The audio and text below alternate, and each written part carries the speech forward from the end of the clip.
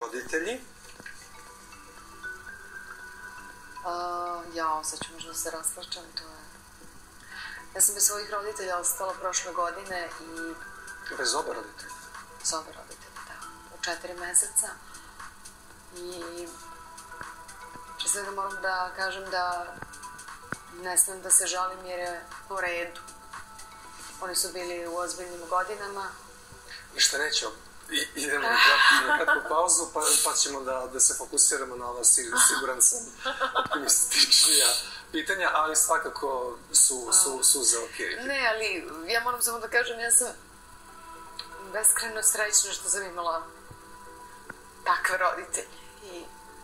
I ja znam da moj majci smrt nije značio ništa tužno. I da je ona samo smatrala da je otišla negde drugo.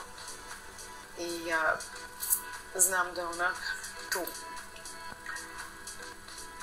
Mm, da su sve vreme neki znaci, znakovi. Ne bih rekla pored puta, nego baš znaci na putu.